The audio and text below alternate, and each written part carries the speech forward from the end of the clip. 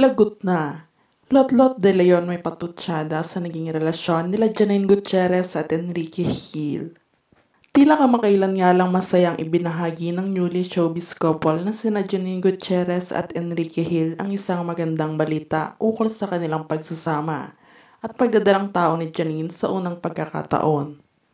Ayon kay Janine, hindi umano naging madali para sa kanila ni Enrique ang lahat dahil madami nga ang gustong sirain at manghimasok sa kanilang relasyon, lalo na ang Lisken fans.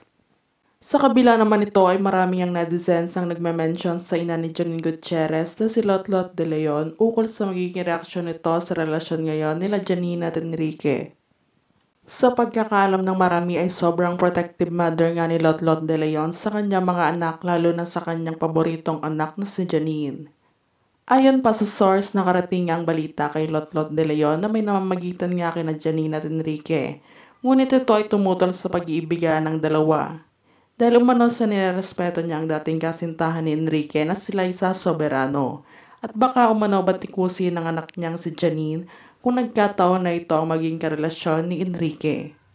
Subalit sa naturang latest photo nga ni Janine kung saan ipinakita nito ang baby bump niya ay pinagpiestahan naman ito ng mga netizens at fans ng Lisken at pinagsasabihin ng hindi magagandang salita. Marami namang fans at celebrity friends ng aktres ang nag-aalala sa magandang tumatakbong showbiz career ni Janine dahil sa ikakapekto nito sa kanyang trabaho ang pakikipagrelasyon kay Enrique.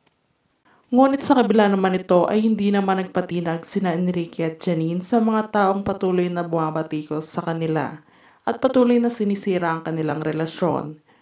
Pinapatunayan pa nga ng dalawa na totoo ang kanilang pagmamahalan dahil may ilan nga din silang naipundar together ngunit hindi lamang nila ito isinasa publiko.